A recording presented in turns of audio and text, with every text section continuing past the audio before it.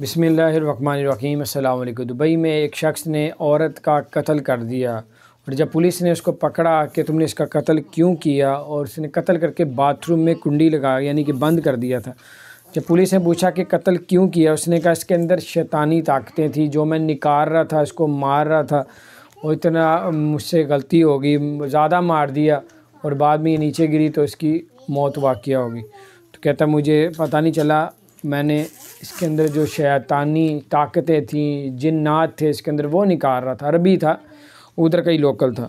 तो बहरहाल, फिर जब पुलिस ने उसके ऊपर प्रेशर डाला या मारा, पुलिस ने टॉर्चर किया उस बंदे को तो उसने फिर इतराफ़ किया कि ये हीरो, यानी कि इस पर बहरहाल, यानी कि वो कुछ ऐसी बातों पे उस पर अमल नहीं कर रही थी, जो वो कह रहा था या कोई हीरोइन वगैरह चीज़ें जो होती हैं नशे की। तो बार उसने नहीं मान रही थी तो ये उसको टॉर्चर कर रहा था। बार अभी वो पकड़ा गया। अब देखें उसके साथ क्या मामला होते हैं। बड़े बड़े अजीब व गरीब वाक़ात हो रहे हैं उधर। अल्लाह ताला खैर करे और अगर आपने हमारे चैनल को सब्सक्राइब नहीं किया तो सब्सक्राइब कर दें, बेल आइकन प्रेस कर दें, ताकि ये सब कुछ बताने का मकसद होता है कि ऐसी चीज़ों से बचें और अपनी फैमिली को महफूज रखें। अपना ख्याल रखें। अगर आपने हमारे चैनल को सब्सक्राइब नहीं किया तो सब्सक्राइब कर दें, बेल आइकन प्रेस कर दें, ताकि नहीं